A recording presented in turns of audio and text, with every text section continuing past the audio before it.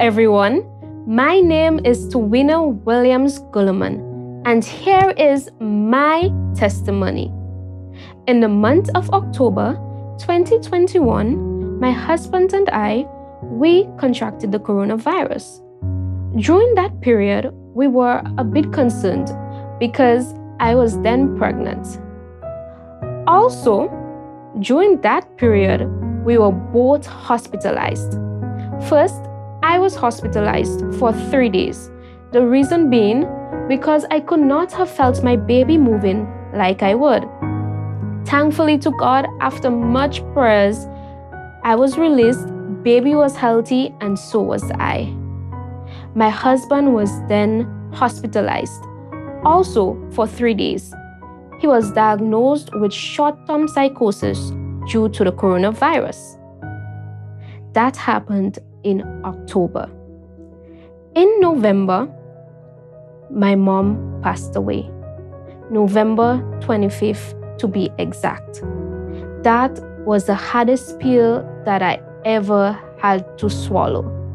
She passed away in Grenada, and I, living in Suriname, I was unable to travel due to the pregnancy to attend the funeral. I was really taken back.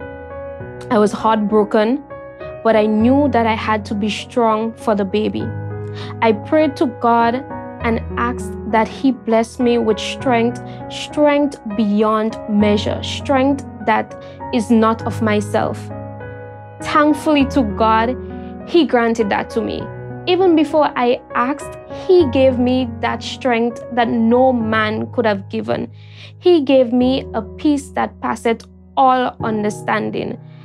He allowed me to be at peace knowing that my mom passed away.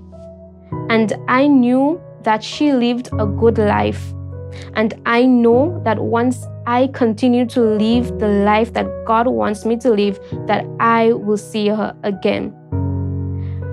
I would have been through a rough patch. But guess what? God never gave up on me. My mom's favorite text came from Isaiah, the text that says, When you pass through the waters, they will not overflow.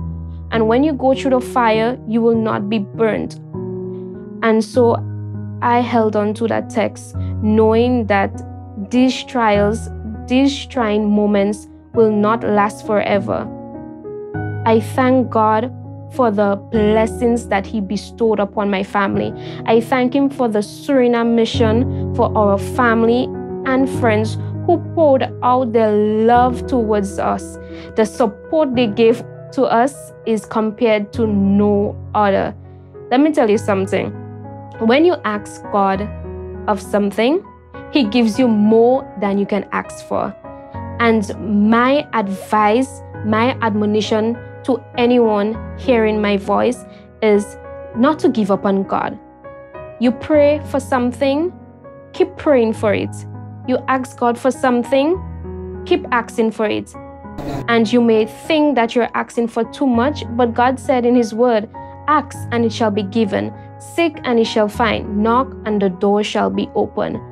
Don't give up on God because He won't give up on you. Stay faithful to God even in the trying times.